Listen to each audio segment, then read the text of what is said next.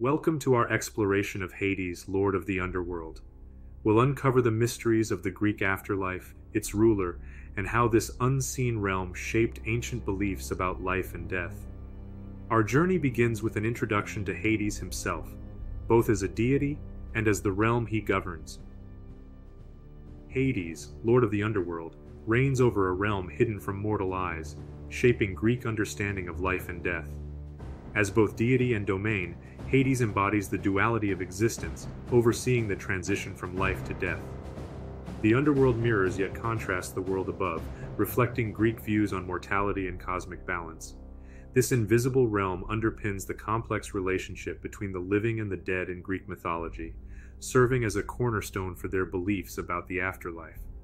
To understand Hades' role in the Greek pantheon, we must first look at his origins and how he came to rule the underworld. Hades' ascension to power followed the great war known as the Titanomachy. Victorious against the Titans alongside his brothers Zeus and Poseidon, the cosmos was divided among them. Zeus claimed the sky, Poseidon the sea, and Hades the underworld. Far from being a punishment, this assignment was a crucial role in maintaining cosmic balance. As ruler of the dead, Hades ensured the cycle of life and death continued uninterrupted. His domain, though somber, was essential to Greek cosmology, reflecting the inevitable transition all mortals must face. With Hades established as the ruler of the underworld, let's explore the geography of his domain and how it reflects Greek beliefs about death and justice. The underworld's landscape is a complex tapestry of rivers, realms, and barriers, each with profound symbolic significance. Five rivers shape the realm. Styx, the main boundary, is crossed by Charon's ferry, Acheron, the river of sorrow, Cocytus, the river of lamentation, Phlegethon, the river of fire, and Lethe, the river of forgetfulness. Souls face judgment before three impartial judges determining their eternal fate Tartarus for punishment, Elysium for paradise, or the Asphodel meadows for those who led unremarkable lives. Cerberus, the three headed dog, guards the entrance, while the gates of horn and ivory connect the living and dead through dreams. This intricate structure embodies Greek views on morality, justice, and the afterlife. Understanding the geography of the underworld helps us comprehend the Greek concept of death and the soul's journey after life. In Greek belief, death is not merely an end but a transition. At life's conclusion, the soul separates from the body, beginning its journey to the underworld. Proper burial rites are crucial, ensuring a peaceful passage. Hermes, the divine psychopomp or soul guide, leads the departed to their final destination. The afterlife reflects mortal deeds. Heroes find paradise in Elysium, the wicked face punishment in Tartarus, and the majority reside in the neutral Asphodel meadows. This system of divine justice echoes the Greeks' belief in cosmic order and personal accountability, emphasizing the importance of living a virtuous life. To maintain this cosmic balance, Hades employed various guardians and judges, each with a specific role in the underworld's operations. Cerberus, Charon, and the judges of the dead were essential in maintaining order in Hades' realm. Cerberus, the vigilant three headed dog, ensured no living soul entered the underworld uninvited. Charon, the ferryman, transported souls across the river Styx, a journey that required payment, a custom reflected in Greek burial practices of placing coins on the deceased's eyes. The triumvirate of judges, Minos, Rhadamanthus, and Aeacus, evaluated each soul's mortal deeds, determining their eternal fate.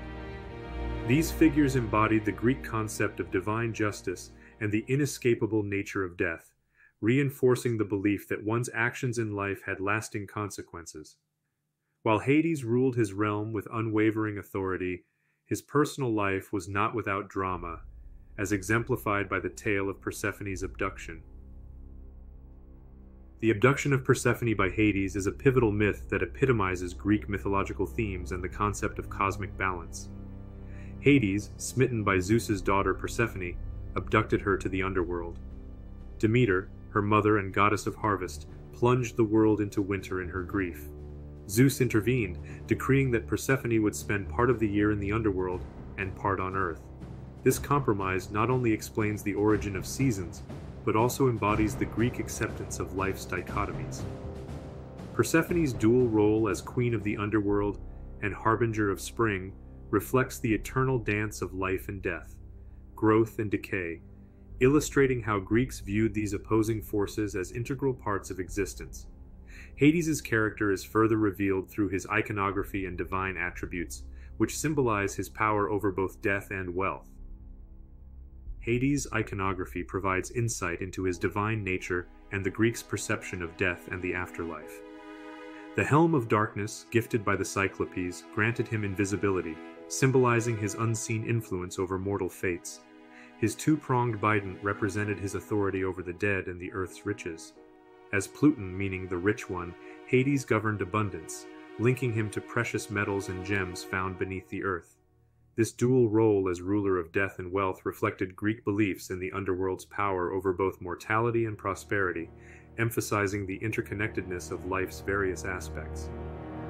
While Hades was generally unyielding in his rule, there were rare instances where he showed leniency, as in the famous tale of Orpheus and Eurydice.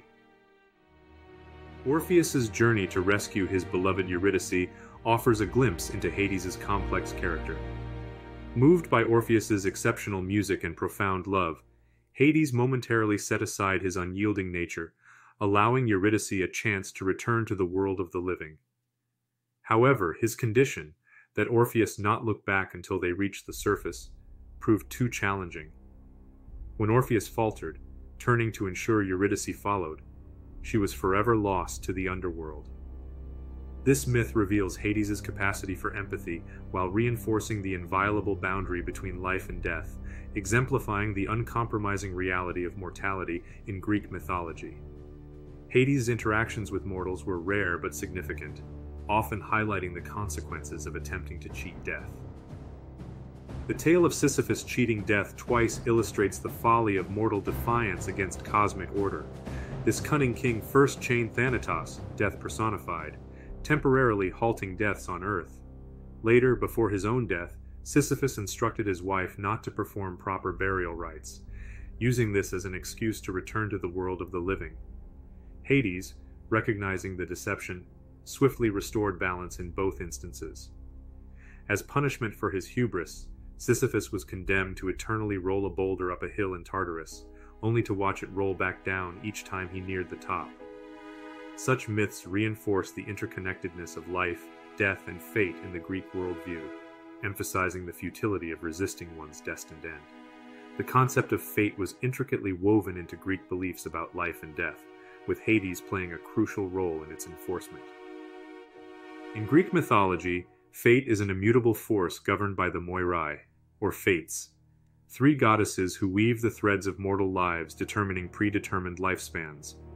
Clotho spins the thread of life, Lachesis measures its length, and Atropos cuts it at the appointed time. Hades, as ruler of the underworld, enforces these unalterable decrees, ensuring that souls arrive in his realm when their time has come. His impartial custody of souls and the final judgments align with fate's dictates.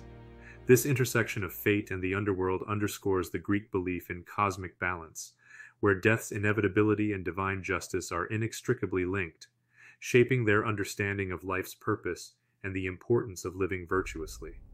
Hades' influence extended far beyond the confines of his subterranean realm, shaping Greek attitudes towards mortality and existence.